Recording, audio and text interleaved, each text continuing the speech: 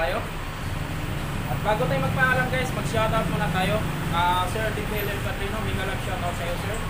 Thank you, thank you so much sir sa iyong full support sa aking channel, sa channel ng aking mga kaibigan, sa, sa channel ng lahat ng Team Fit Squad, mega love shoutout.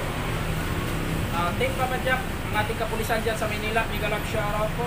Team Papa Jack, ang ating mga kaibigan, ah, mga admin ng team, ah, Team Kulot, ah, Nicole Harding, Team Banana, uh, Mami Vlog, Team Imahe is uh, Trixie Bal, Team Lady, uh, Team Powerhouse, Lady Coach Explorer, ayun, tigalang shoutout sa inyo lahat. Ah, Team Love, ah, Team Love, ini Casillas Vlog, uh, Miguel shoutout sa inyo lahat. Ini Casillas Vlog, thank you so much for support sa aking channel.